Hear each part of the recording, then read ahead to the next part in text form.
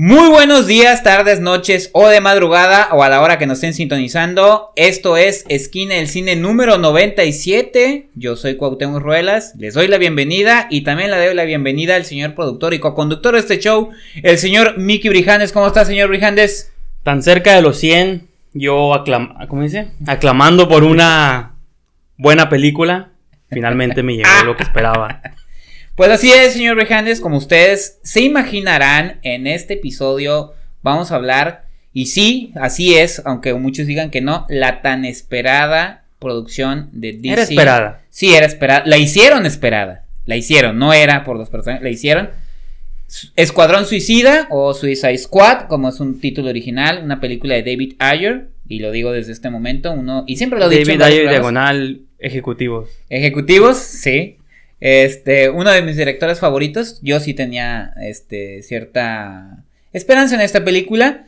A diferencia del señor Rijandes, mi, mi, entusiasmo decayó un poco cuando estaba viendo la, la, película. No cuando leí las críticas, porque lo voy a decir desde este momento y creo que muchos de los que nos ven y nos escuchan saben, yo no soy fan ni de Marvel, no soy fan de DC, yo no me guío por el hate, me tiene sin cuidado. Eso yo solamente quería ver una película de acción Permítame, señor Ricandes, terminar. Yo solamente quería ver una película de acción dirigida por uno de los cineastas de acción que más aprecio, que es David Ayer, cuyas películas como End of Watch y Fury se me hacen unas verdaderas joyitas del género, de guerra y de acción.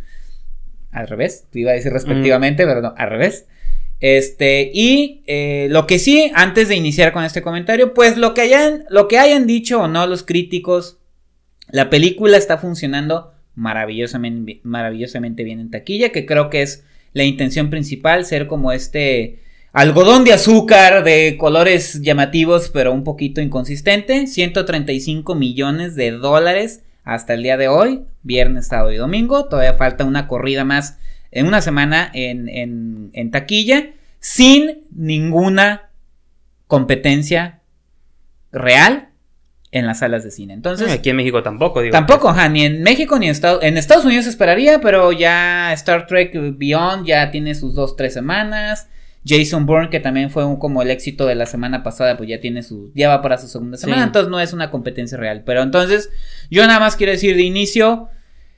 Me parece, y quiero dejar esto muy en claro. Es una mala película en muchos aspectos, pero ocasionalmente divertida. Me divertí, pero es una mala película y voy a explicar por qué en un momento. Cedo los micrófonos al señor Rijandes para que este para que diga toda su toda su exponga su emoción alrededor de Yo sí di fiebre, creo que es una película divertida de principio a fin. Sobre todo por los personajes, al final creo que digo, trató de seguir como esta fórmula de Guardianes de la Galaxia, ¿no? Un grupo de personajes dispares unidos por una misión, ¿no? Entonces, creo que de las cosas más interesantes que tenía aquella película era que estás pues pasando el rato con personajes extraños, excéntricos, variados. Y pues estás nomás como, como dice Tarantino, una hangout movie, ¿no? Entonces, creo que eso es como lo que me quedo durante la hora y feria que dura la película. Dos horas. Dos horas, este para que vean que la sentí muy rápido. Pues es creo que también es una, sí, estoy de acuerdo que es una película ya para otra generación, que no somos nosotros. No, y ahí estoy. Y es por eso que yo estoy en desacuerdo. no, voy a hacer peticiones en change.org para que cierren Rotten Tomatoes y todas estas cosas. Pero si ¿Ya no hay necesidad? Sí, estoy casi seguro que si hiciéramos una encuesta y checáramos las edades de los críticos que están ahí, deben ser de los tardíos 20, 30 para arriba. Y Suicide Squad está visualmente, claramente editada como video musical para una audiencia que es que ni siquiera soy yo, pero yo traté como de decir, voy a tratar de comprender hacia dónde va todo esto. Kevin Smith bien lo dijo que es como una tienda Hot Topic traída ah, a la realidad. A la vida. Y sí, o sea, como si todos esos muñecos tomaran vida y se pelearan entre ellos. Los disfraces, los looks, que a mí me encantaron. Entonces, toda esa vibra como oscura, extraña. Y aparte, pues la película va como a lugares también bien extraños. Ya cuando metes una bruja y cosas medio psicodélicas ahí. A mí me gusta. Eh, podemos hablar a lo mejor después como del Joker, porque pues hay como cosas que hablar. Hay que decirlo que sí va a haber spoilers. Ah, sí, vamos a tratar de ahorita como y ponerle ahí una. sí, a lo mejor ¿eh? ahorita se escapa algo, pero sí va a haber ya como una sección de spoilers fuertes donde hablemos de Joker, de Batman y ciertas revelaciones que ocurren al final. Sobre todo qué pasa con el personaje de Scott Eastwood, que digo. Mejor ni lo hubieran puesto. Ya sé, no, no, pero se va a raro porque no es como esas películas que graban antes de que sean famosos y luego las. Lo graban cuando ya tenía unos protagónicos. cuando, por ahí, ¿no? Como le pasó a Thor en Cabin in the Woods, que esa película la grabó antes de ser Thor y dije, no, pues ya la podemos lanzar, ¿no?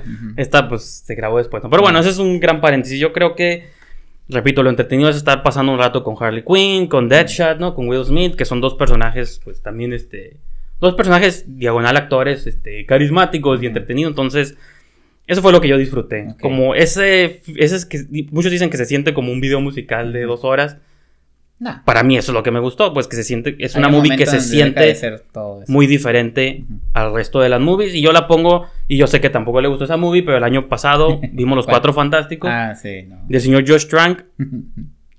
Y ahorita estoy como en una postura emocional distinta a la ocasión de Josh Trank. En la, vez pasada yo sí estaba en una posición de que si lo hubieran dejado hacer lo que él quería hacer hubiera sido una genial película. Aquí puedo repetir lo mismo, pero como que ya... No se la desmadraron tanto. Quiero creer que maduré y un año después digo, bueno, ok, estas movies no son de autor, aunque nos engañemos. Ah, no sé. Marvel, o sea, Marvel tuvo hasta broncas con Edgar Wright, ¿no? Porque no supo moldearse.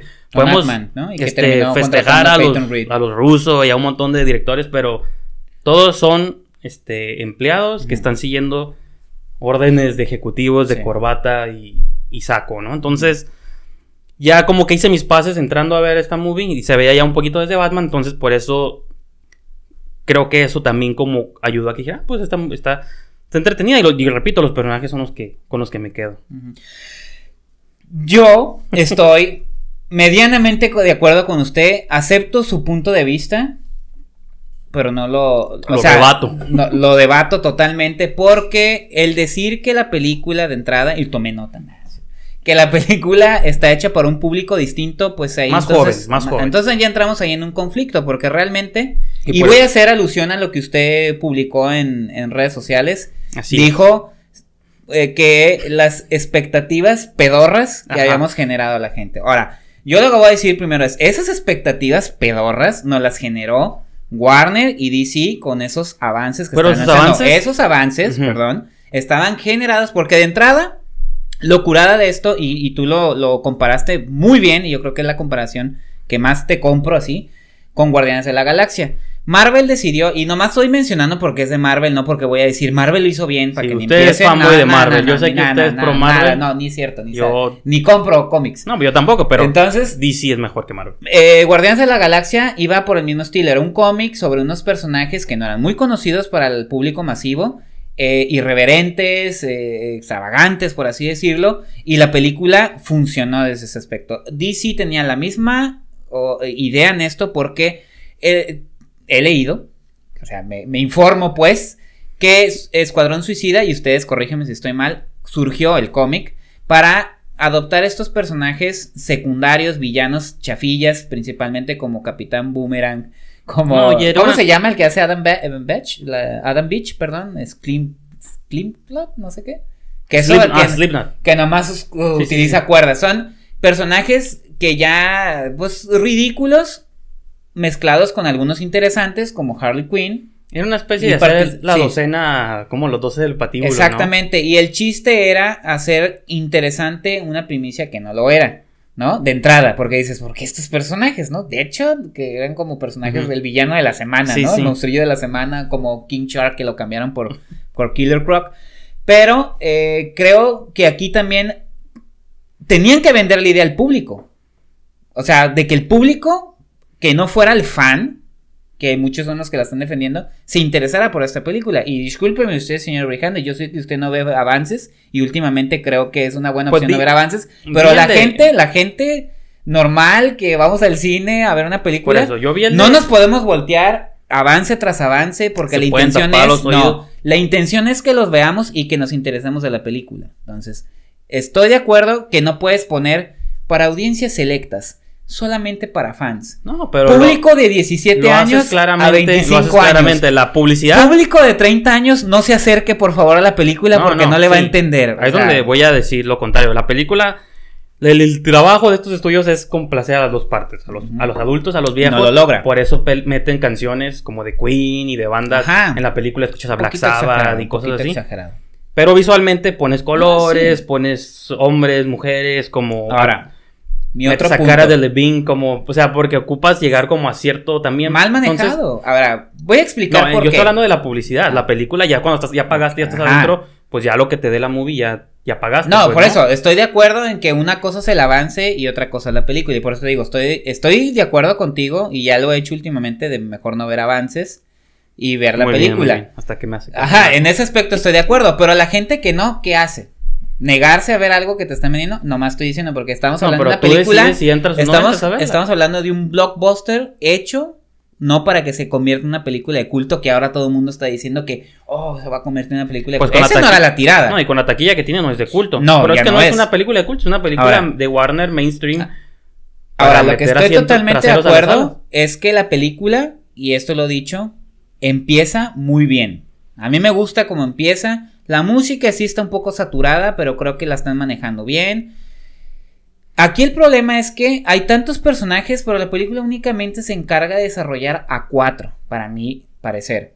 Que es Deadshot, que me queda muy bien claro sus motivaciones en toda la película, Will Smith, y muy bien. Yo no tengo hate con Will Smith como muchos. A mí sí me gusta Will Smith desde el principio. Ha hecho últimamente. Claro, claro, claro. Pero a mí, Will Smith desde el principio. Es mejor verlo a él que no verlo, ¿no? Exactamente. Eh, el desarrollo que hacen con Harley Quinn también, esos flashbacks, porque es así, sus motivaciones. Viola Davis como Amanda Waller, también esta mujer, también me queda claro que es. Incluso me gustó el personaje de Rick Flag. Pero todos los demás personajes. Pues son secundarios. Por eso, pero la intención, fíjate. aquí la bronca es. de la Galaxia. No, por eso. a los cinco. No. Pero está. A los cinco. Yandu, el sí, pero aquí no hay, no hay irreverencia y a lo que voy es Guardián de la Galaxia funciona porque hay irreverencia, porque hay incluso pues burla. Aquí entiendo la situación y ahí va un spoiler, un gran spoiler. El personaje este de Adam Beach es ¿cómo? De las cuerdas. Ajá. Ese personaje entiendo la intención del chiste porque lo matan como a los tres segundos. Sí. entiendo la intención del chiste, pero no lo no, no lo disfruto porque nunca me lo describieron me hubiera gustado más que hubiera matado a Capitán Boomerang. Pues no lo iban a escribir no, no, porque Porque Capitán Boomerang te dan como ciertos destellos. Lo de Flash estuvo padre, a mí se me hizo bien. pero si hubiera hecho más padre que hubiera matado a Capitán Boomerang para entender el chiste. Pero nada más están aventando personajes, personajes. Ah, pero a lo que voy. Todo el desarrollo de esos personajes, todos los primeros 30, 40 minutos me gustaron. A partir de que la cinta entra en la onda esta del villano, de decidir quién es el villano, que es está en Y la misión, para mí, toda la película se convierte en. Todos hablan, no se siente nada. Son las secuencias Pero ni siquiera están pares, no hay escenas memorables, no hay nada. ¿Cómo no? El helicóptero llevándose a Harley Quinn. No, visualmente sí. Por eso, pues es que eso el cine Visualmente el cine es visual, pues al fin Ajá, pero no hay disparándole arriba a ver si me, a ver si me explico con esto. No hay nada que respalde lo que estamos viendo. Sí, los fans bien clavados cuando vean las escenas de Harley Quinn y el Joker, pues eso es su eye candy. van a llorar. No, ni, este, yo ni lloré, Como la hija de Kevin Smith, ¿no? Que también dijo Harley Quinn Smith, que es no una tengo chica. 16 años, no tengo 16 años como ella, ¿no? Entonces. Pero para ese público sí está padre. Por eso, pues eso es lo que yo siento, es una película. Pero todo lo demás no está sustentado. Es una mala película. Y, que te quiero dejar en claro, no es un bodrio. Simplemente es una mala película que ah. entretiene, pero que no era, o sea, que te sales como que, mm, bueno. Y, lo, y también, ¿eh? Lo de Rotten Tomatoes. Sí, se me hace exagerada la puntuación. Pero también la puntuación del público no es muy elevada, ¿eh? no, pues claro que 73%. Y todavía dicen los fans, sí, he visto cosas peores que les dan, que, que, hay cosas peores que también hacen taquilla. Pero esa no era la intención de Escuadrón Suicida, hacer una película menos peor. Eso yo creo que es la gran bronca y, pues, a ver, dígame, señor Brijandes. Entrar en una peli... Es que mucho lo que las críticas con las que más estoy en contra es en cuestiones de historia. Porque sí, ok, una... Hay películas que su objetivo principal es crear una historia envolvente. Digo, puedo poner de ejemplo Mad Max, Furia en el Camino, ¿no? Que sí, es George Miller, como quizá... Bueno, no quiero decir que, yo, que David Ayer no sea un director competente, pero va a sonar así. O sea, es diferente cuando aquí a George Miller lo dejaron hacer lo que quiso. David Ayer posiblemente también hizo lo que quiso, pero ya en la edición y con estas preocupaciones hicieron como otra cosa, ¿no? Pero creo que esta otra cosa que hicieron hizo como bastante énfasis en lo visual y en lo externo. O sea, a mí va a sonar como bien tonto, pero la escena de. Digo, yo no conocí a este personaje, pero Katana ah. hablándole a su espada y subtitulada en hablando en japonés con su digo, esto está muy raro. está sustentado. pero está chistoso, está suave, está extraño. Además, Katana salió de la nada. Ahí ella es no, pero la toma cuando se sube el helicóptero y el, el atardecer atrás. Oh, sí, es mi guardaespaldas. Está suave, o sea, esos elementos extra bizarros. Digo, yo sé que mucha gente tuvo problemas con el villano. A mí al contrario, Enchantress me encantó. O sea, se me hizo curada como. Y qué chafa que digo, estoy viendo esto. Porque no, voy a regresar a X-Men. No, pero yo me regreso a Tortugas Ninja. Yo me regreso a Tortugas Ninja. Yo me regreso a X-Men. Yo a Tortugas Ninja no nos gustó X-Men. Pero, usted que se quejó sí, por eso, okay. de Apocalipsis, que está incluso comparada con el hermano de Encantos, que es una porquería de CGI. Te, molestaste con... Es lo mismo, son seres superpoderosos que todavía... Ah, pero se dan el tiempo de pelear mano a mano con los buenos, nomás para que al final hagan un super voy a poner, vean nuestro... Y también está así al el aire algo. No, vean nuestro review de Tortugas Pero eso no te gustó y, este villano sí Vean nuestro review de Tortugas Ninja. Al final también es un villano que llega raro, que tira un rayo al cielo y está girando como basura alrededor. Pero si lo haces bien, y también X-Men no tenía ningún propósito. O sea, Magneto, que es su villano más fregón, no tiene. Pues está generando. Es como Ghost. Mira, yo Destruir el mundo. Ah, ven. Por eso. Y hasta les dice lo mismo que, que, que Apocalypse únanse conmigo, mutantes. Y aquí es, únanse conmigo. Y les voy a dar algo a cambio. Es lo mismo, pero en X-Men no te gustó. Siento que Y aquí sí te gustó. Hicieron algo visualmente ah. interesante. Y yo prefiero ver a cara de Levine que a Oscar Isaac, lo siento. Bueno, en, trajes. No, a mí también me encanta cara de Levine. Me encanta. Haciendo incluso bailes se ve una persona muy. Pero en sus eh, Instagram y todo eso es una persona muy chistosa, pero... Yo, pensé que yo era el único, yo, uno se, pone se cree genio y dije, ah, soy el único que lo notó, pero ya varios reviews lo han estado repitiendo, entonces lo voy a repetir, pero eh, mucha gente lo ha estado comparando con el final de Ghostbusters, la primera, ¿no? Es que no la hemos visto. No, la primera, ah, la del 84. Ah, sí, porque igual de este, sale de... Sí, este villano que quiere destruir el mundo y como con ropa transparente y... Gozer, ¿no? Que se llama, que es esta, mon, esta también modelo, ¿no? Ah, sí, como este demonio. Entonces, Pero es un demonio, ¿no?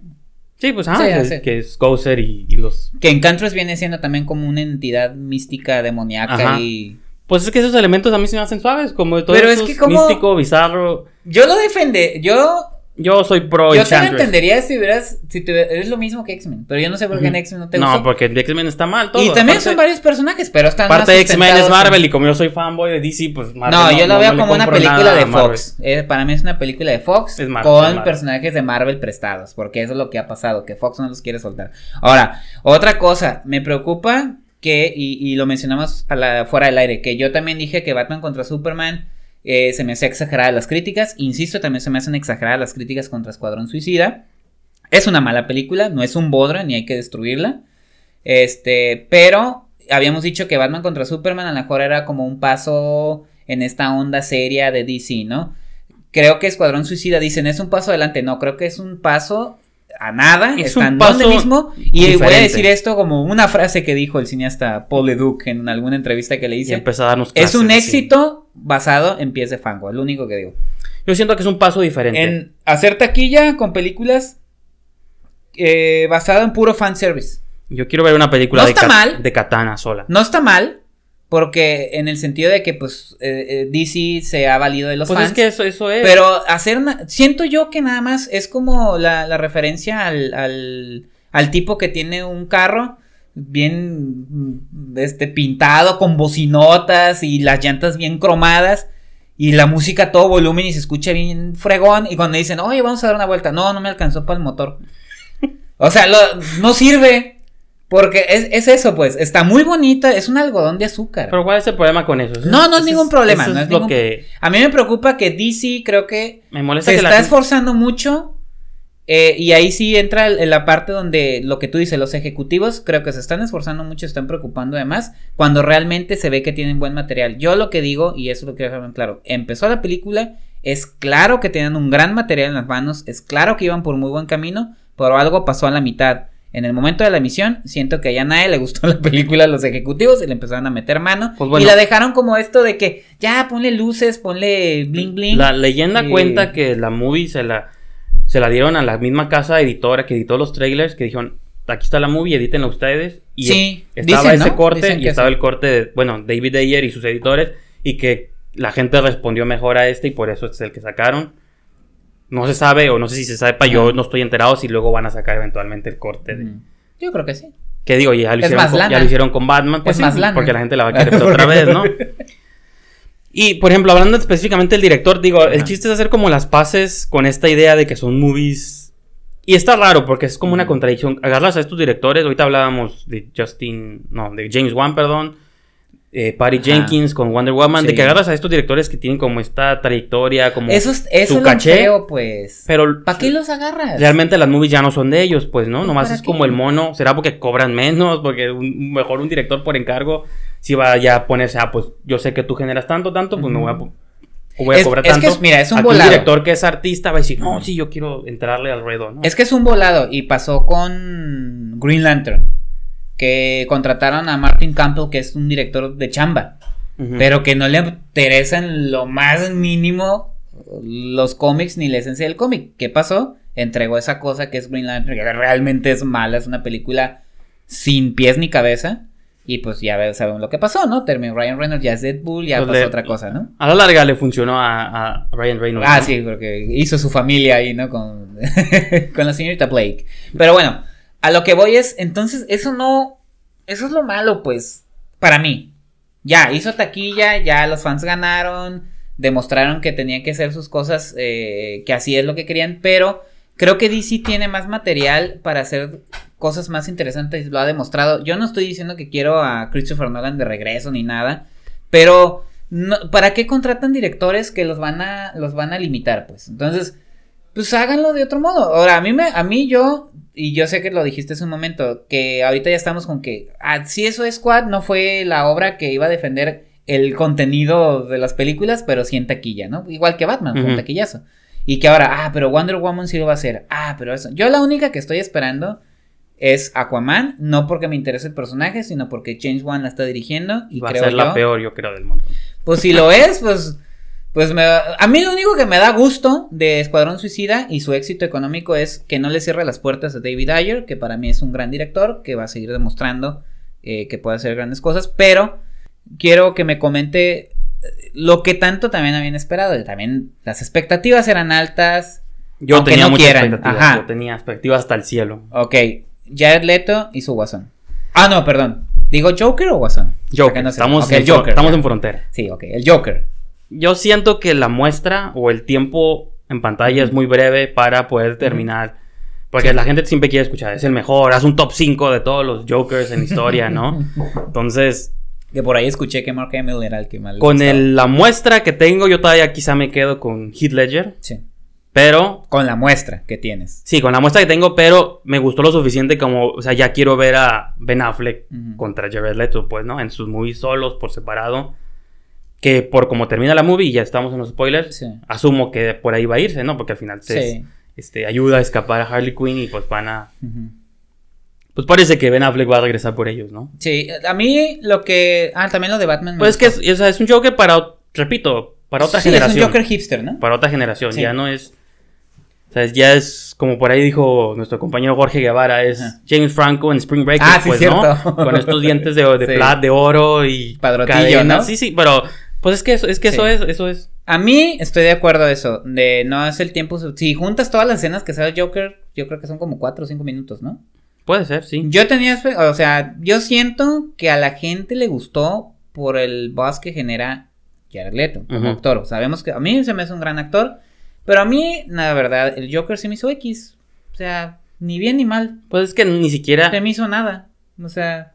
Es que era un personaje terciario, o sea, pesaba porque es Joker y ese es de los No, y personajes. pesa. Ajá, pesa. Pesa, sí. O sea, lo ves en Pero- pantalla y pesa porque. Oh, va a salir el Joker. La intención de la mujer, el villano, claro, de la movie, yo ni siquiera diría que es Enchantress, es Amanda Waller. Para mí, Sí. ella Y es seguirá como siendo Amanda la Waller. verdadera villana ahí que, que hasta cierto punto sí o no, Ah. porque al final te quieren plantear un momento emotivo cuando mete otra vez a los a los ya detiene a los criminales, ¿no? De que Rick Flag les da a entender Ah, como que ya van a ser libres, pero ella, Ajá. no, los tengo aquí Sí. con el celular, ¿no? Pero. Pero te hace entender de que, bueno, realmente no podías dejarlos sueltos porque realmente Sí. siguen siendo villanos que van a destruir el mundo. Entonces, es otra cosa que. Ah, villanos. claro que sí. Son psicópatas. buena onda. No, nomás ¿cuál que, buena onda? que la vida los ha tratado mal. Como diablo, a mí no. Ok, bueno, la vida lo trata mal porque ese es uno de los puntos que tengo aquí. Ajá. Yo siento que, ¿se acuerdan del movimiento de los emos allá en los tempranos 2000? Siento que todos esos jóvenes de 14 años ahorita ya están en sus 30, o sea, esta movie es para ese Ah. público, pues, o sea, la película tiene literalmente la palabra suicidio en el título. O sea, el público emo... Pero eso viene de. No, no, sí, yo sé, pero, el- mucho atrás. pero antes no había una movie con el título Suicide Club, quizá, de esta película japonesa, pero o sea, me O refiero- Vírgenes Suicidas. Ajá, de- ¿Y cuál era la cura de esa movie? de También suicidarse. la juventud, así. Entonces, ya una movie con que tiene la palabra en el emo, eh, emo, suicida en el título y Sí. todos personajes oscuros y este ya de hot, o sea, es Pero ni siquiera Eso lo es. desarrollan como tal. siento que sí, la No película villanos. quería hacer eso, ¿en qué pues, ¿no? son villanos? Por decir, a mí Will Smith, todo, eh, Gente que obsesionada con navajas y cuchillos, es que fue el es- personaje que siempre me preocupó, pero ya ni era villano. Pero bueno, No, sí es porque sigue matando gente. ay, con corazón de oro. Pues es que es que tiene que pues sí, porque es Will Smith, pero el contrato demandaba que tuviera una hija y que fuera buen pedo. Bueno, Pero otra cosa que refleja muy bien las fallas de esta película es la tan cacareada escena en los créditos finales que para mí fue totalmente absurda. Absurda, sin Es sentido. entre ¿Cuál? Pero y Justicia- Mira, yo no voy a decir una cosa, una, y estoy de acuerdo. Porque lo dijo Matt Goldberg en Collider. Si es inconsistente porque Amanda Waller es manipuladora, ah, y ahora está en, en relación con, con Bruce Wayne. Él ocupaba Ah, de- información ahora, otra. de los metahumanos. Ajá, ¿cuál? La información que ya tenía desde No, Batman no. contra Superman, No ha con los tenido archivos todavía. del ex Luthor y con ayuda de Wonder estaban, Woman. Ah, dónde cierto, estaban. por favor, eso ya estaba. Eso Ocupaba nomás fue. ayuda. Eso la metieron con calzador. Es nomás para. Es otra vez fan service para que los fans. Eh, válgame la redundancia. ¡Wow! ¡Wow! No nos importa nada. Queremos ver imágenes.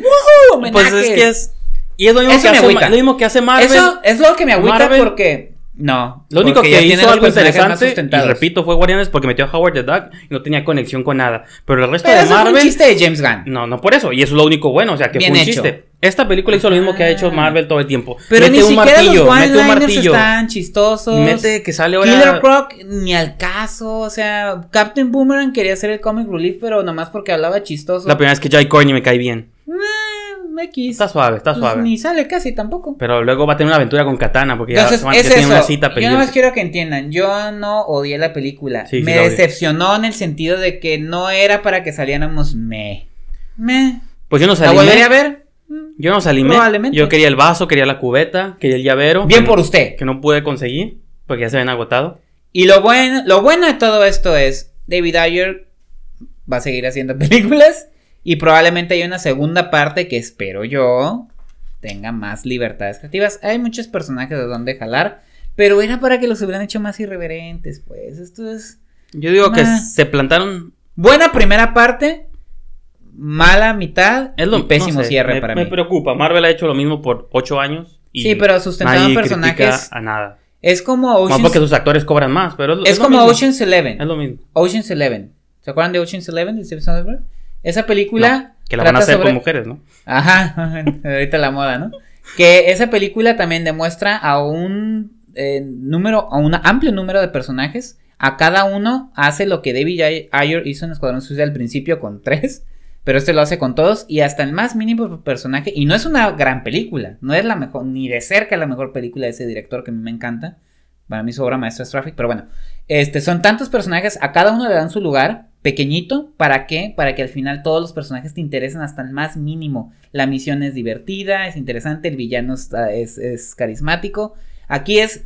Nada más te damos cuatro personajes. Visuales interesantes. Y todo lo demás Pero ya es. sabemos que vienen más movies. Con la esa de Ocean's Eleven sí hicieron mil secuelas. Ah, no, las dos y la tres están horribles. Por eso, Yo no estoy diciendo la primera Es- que me gustó. sí, la primera- Cómo plantearon las La cosas. primera se hizo así porque era una película única que no se hayan. Y era un chiste, era ni un siquiera chiste puede de generar Soderbergh. secuelas. Era un chiste de él. Les voy a juntar a mis amigos. O sea, esta ya sabemos que, Har- que Harley Quinn va a tener su movie aparte con el Joker. Y merecido. Yo, si Warner me está escuchando, va a ser una película de Katana sola porque yo soy el único que quiere verla. Y Enchantress no, porque nadie Enchantress, yo, pues yo también soy el único que pide Enchantress bailando. Y luego Capitán Boomerang puede salir con katana porque ahí se, Ah, ahí se quedaron Boomerang. que iban a tener una cita o algo así. Cocodrilo ese sí puede no estar, ni el piromaniaco, el pyro, no, el diablo. No, Diablo Pyro. Ese es, Es lo fíjate, te traiciona tu mente Marvel y dices siento, que eso no. Se Nah, es Diablo. de-. Pues Diablo, spoiler, se murió, ¿no? Pues quién sabe. Se- mira, esas son las cosas. Creo que Diablo le quieren hacer un trasfondo dramático y después sí lo pones como un renegado. Las razones por las que no quiere utilizar sus poderes a mí se me hicieron muy interesantes y las razones por las que los utilice se me hicieron lo más chafa. porque y su muerte lo necesitaban en el momento. y porque le pegó en la cabeza el Will Smith. A ver, te Ah. pego en la cabeza y mira si no me tiras, Ah. así no me tiras un trancazo en la cara. Y después eh, se convierte en esta calavera azteca de fuego. Eso está suave, Eh, porque ah, Sí, bueno. a mí sí me molestó un poquito. Yo sé que lo van a sentir cada quien con su, Ajá. con su, con su pasado, pero Ajá. El hecho de que sea un estereotipo latino, eso es lo único que me molestó a mí. Eso fue lo que les gustó a los gringos. De que tatuado. Ya te chingaste. Pues sí, de hecho en la sala donde. ya, muchos dicen que ya lo quieren de ringtone. Entonces, pues ahí veremos. Ahora, ¿cómo al final dice? Ya te chingaste, Sí, ¿no? sí, ajá. Ya te chingaste y ya explota, ¿no? Ya. Pero bueno, e- esas son las cosas. Tírenme su hate Ve, ya es algo memorable. Dejó una línea, ajá, abierta, ¿no? ¿no? Te dejó una línea memorable. O sea, la película hizo su. Pues cumplió, su, ajá. cumplió su cometido. No, al principio tiene cosas. Los personajes para mí de Will Smith y de Margot Robbie y de Viola Davis e incluso de Rick Flag sí me gustaron para que continúen en la saga. La neta, lo de Will Smith se me hace bien mala onda, como que hay mucha gente que le tira hate cuando a mí se me hace un buen comediante, incluso un buen actor dramático. Y creo que aquí, Sí. este. Todo su arco dramático mí se me hizo súper bien hecho. Pues Me- fue el que la más. escena de Batman. Fue el que más exploraron. De, La escena de Batman cuando lo, lo- lo va a atrapar y que su hija lo defiende, me encantó. Me encantó, o sea, está súper bien hecha. Pero yo- ya después no pasa nada de eso. Nada, en la película se convierte nada más fanservice, pirotecnia, luces y se acabó. Cuando te estaban diciendo al- desde el principio de la película, no los avances. Al principio de la película decían, vamos por este lado serio, dark, que yo siempre lo he dicho. Me gusta que En DC. ningún momento plantearon eso, todo era colorido, el póster parece una caja, Bueno, de, la ce- parte- una caja de cereal. O sea, la parte no de Will Smith sí se me hizo bastante interesante. Ah, no, sí, pero... Dramática, la niña pues sí, llorando, tiene que tener, tiene que tener esos elementos, pero Ajá, era- incluso lo de Harold Quinn, lo del principio se me hizo bastante. es un balance entre tétrico. chiste y... Ahí lo de Diablo también, no me vayas a decir que lo quisieron hacer con pirotecnia. Parece una no- parece una no- parece Ajá, nove- parece Una novela. no- novela que de tele- dramática. Telemundo, pues sí, pero con los tonos de... ¿Por qué vuelves a traer? ¿Por qué vuelves a Con tus pendejadas, ¿no? bueno, es, es que eso, es, Eso está eh, suave, está suave. Es que es el cliché lo que nos dio risa. Ok. Pero bueno. Pero estoy en contra de él. Pero nada más es eso, o sea, no es es no sé, 10 de 10. ¿Cuánto la calificación ya para terminar el show? 6.5. Yo le doy 10. De 10. 6.5. 6.5. de 10. 9.5 si creen que... Nomás porque. David Ayer también soy fan y Ajá. no lo vi ahí, pero 9.5, 9.5. Entonces, ¿Cuánto le dio a X-Men? Nomás por. Nos, ahí no dábamos Ahí no dábamos, todavía, la pero reprobó con su Le daría un 4. Porque Ok. salió Olivia Mann, esos 4 son para ella. bueno, yo le doy 6.5. Nah. Vayan a ver. Para, o sea, la película, pues como usted dice, cómprense su vaso de palomitas. Pero, digo, vamos a ver qué pasa con el universo de DC. A lo menos, como digo yo, su éxito basado en pies de fango. Taquilla sobre historias mal desarrolladas. Aquí estaremos dentro de un año hablando de Wonder Woman. Así es. Otra vez, ¿qué pasó? Patty Jenkins. Y luego James Wan. Oh, la peor de DC. Bueno, ya veremos. Nos despedimos, no sin antes invitarlos a que ingresen a nuestras redes sociales, principalmente facebook.com diagonal esquina el cine, donde lo podemos ver a usted y toda su, su palabrería a favor de Escuadrón Suicida. Toda esa palabrería la pueden leer en Twitter, arroba Brijandes y en Instagram también. Y a mí me pueden seguir en arroba esquina del cine. ¿Y dónde más nos pueden seguir, señor Brijandes? Los invitamos a que por favor entren y se suscriban a Telenu.tv. Telenu.tv es una plataforma de entretenimiento digital en línea donde pueden ver desde videoblogs, series web y también pueden checar pues toda nuestra cuarta temporada. Con un par de clics ya están adentro, es completamente gratis. Telenu.tv. Así es. Nos despedimos y nos vemos hasta la próxima.